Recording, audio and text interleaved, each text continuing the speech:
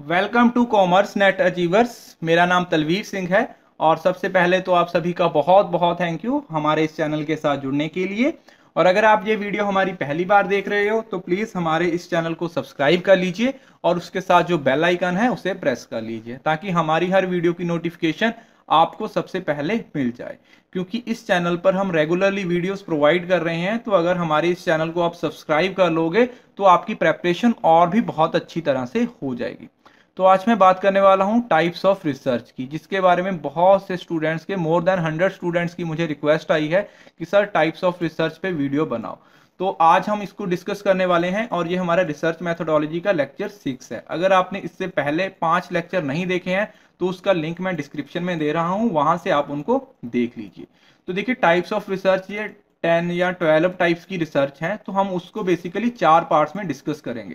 क्योंकि मेरे लिए कोई प्रॉब्लम नहीं है कि मैं एक घंटे की वीडियो भी शूट कर सकता हूँ बट एक साथ सारी रिसर्च को समझना आपके लिए थोड़ा कॉम्प्लिकेटेड हो सकता है। तो इसलिए मैंने इस लेक्चर सीरीज़ को चार पार्ट्स में डिवाइड किया है। ये हमारा पहला लेक्चर है। इसमें हम बेसिक और अप्लाइड रिसर्च के बारे में डिस्कस करेंगे। ऐसे ही हम नेक्स्ट थ्री लेक्चर्स में सारी रिसर्च को बहुत अच्छे से कवर करेंगे। तो मैंने इस वीडियो में जितना कंटेंट ऐड किया है, ना तो वो आपको किसी बुक में मिलेगा और ना ही कहीं और सोर्सेज से वो मिलेगा। तो इस वीडियो से आपकी बहुत हेल्प होगी। इस वीडियो को लास्ट तक देखिएगा।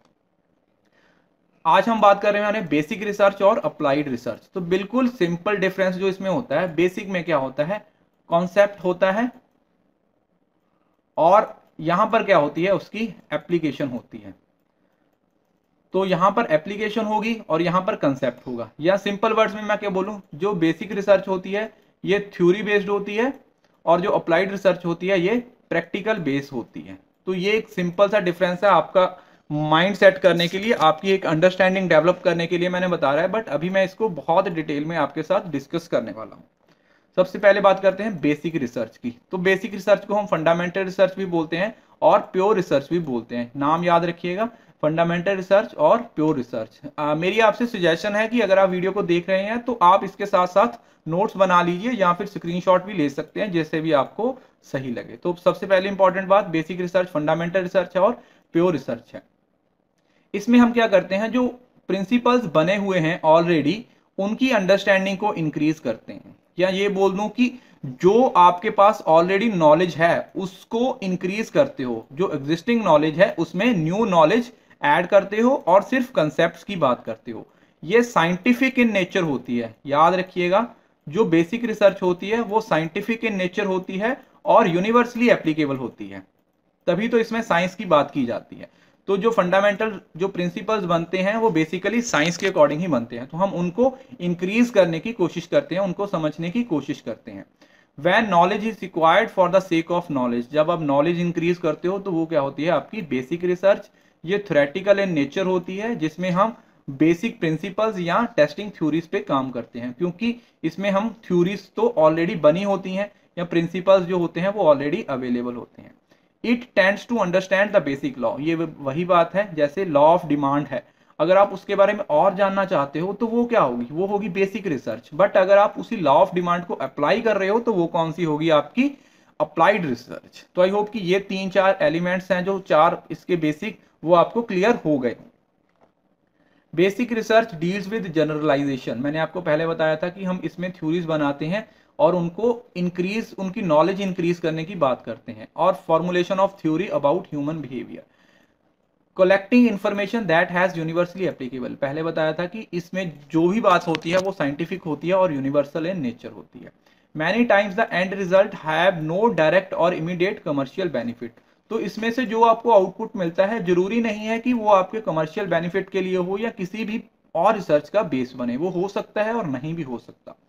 बेसिक रिसर्च बेसिकली कहाँ से आती है? वो आपकी क्रियोसिटी से आती है। जैसे फॉर एग्ज़ाम्पल आप किसी, आपको कोई, आपको एक फैक्ट पता चल गया। फॉर एग्ज़ाम्पल आप एक फैक्ट लवर हो और आपको अच्छा लगता है।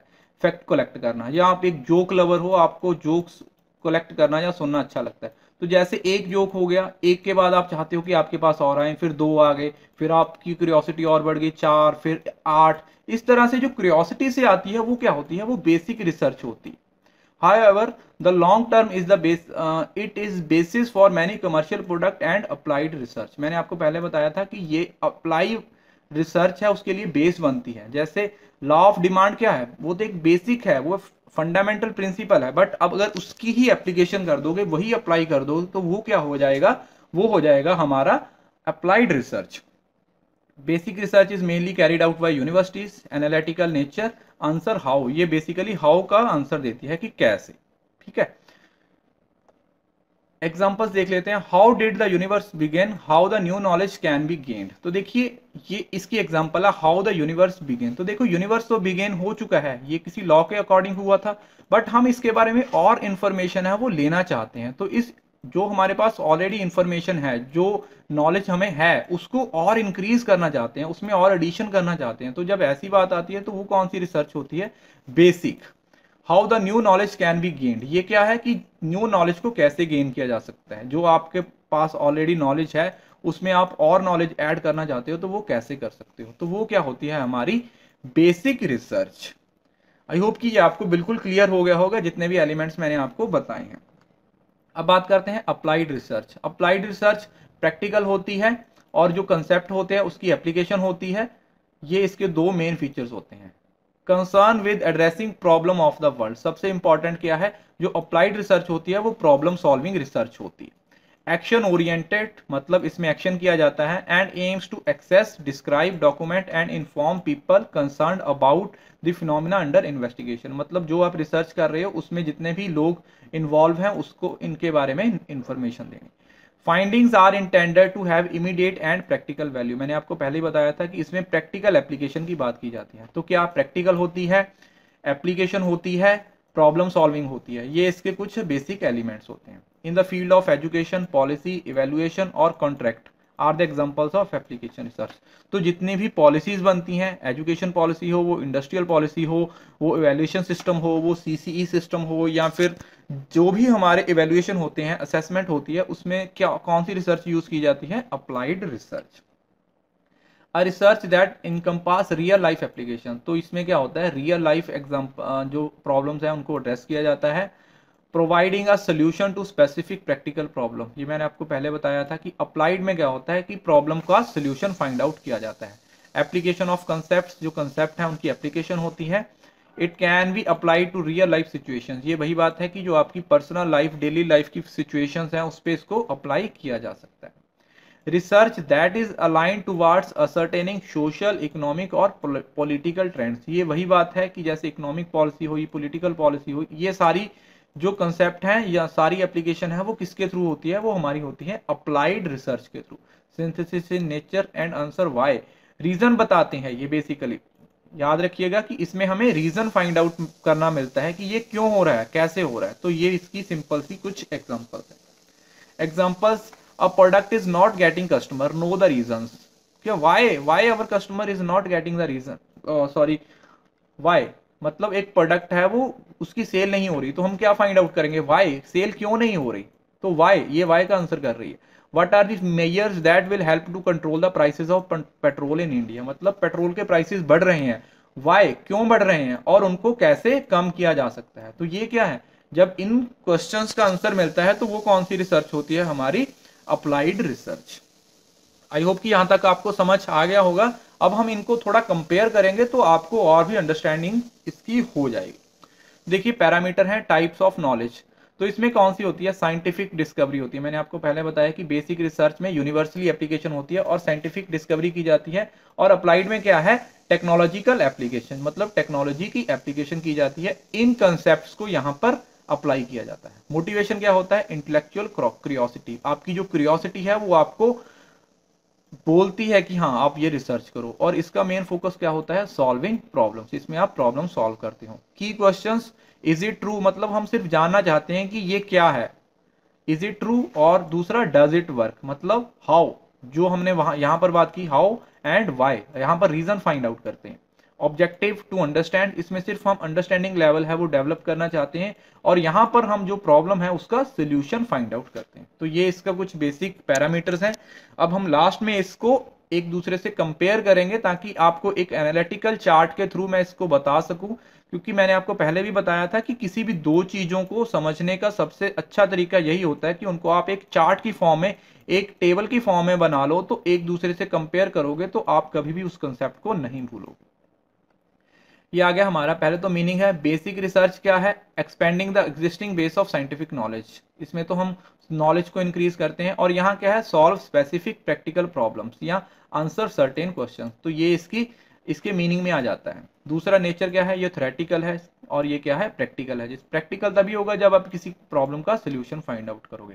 यूटिलिटी यूनिवर्सल है। मैंने पहले बताया था ये कौन सी होती है? ये साइंटिफिक होती है। और साइंस है वो यूनिवर्सली एप्लीकेबल होता है। और ये क्या होती है? लिमिटेड होती है। जिस फिनोमिना पे आप स्टडी कर रहे हो, सिर्फ़ वहाँ तक ये लिमिटेड होती है। जैसे यूनिवर्सली क्या मतलब? लॉ ऑफ़ डिमांड की बात कर रहे हो तो वो यूनिवर्सली एप्लीकेबल है।